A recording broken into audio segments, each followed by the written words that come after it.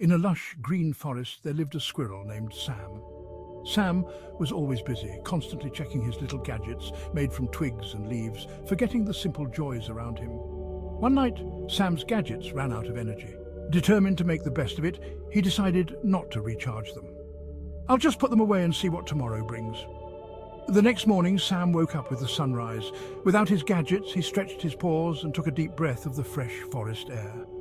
Today I'll focus on the world around me. Sam began his day by gathering acorns, enjoying the quiet morning. He noticed the way the sun filtered through the trees and the soft rustle of the leaves. At midday, Sam found a stream and took a refreshing drink. He watched as his reflection rippled in the water. I never realized how beautiful this forest is.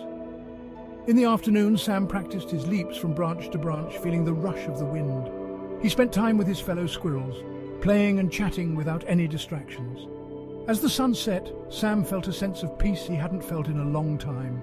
He realized that the forest was full of wonders he had been missing. I don't need my gadgets to enjoy life. There's so much to see and do right here.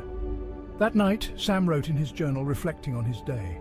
He decided to limit his gadget use, cherishing the world around him. Tomorrow, I'll explore more of the forest and practice my Spanish with my friends. And so, Sam discovered the joy of living in the moment, finding balance between his gadgets and the beauty of the forest. Sometimes it's the simplest things that bring the greatest happiness. The end. Remember, like Sam, we can all find joy in the world around us by taking a break from our gadgets and embracing the beauty of the present moment.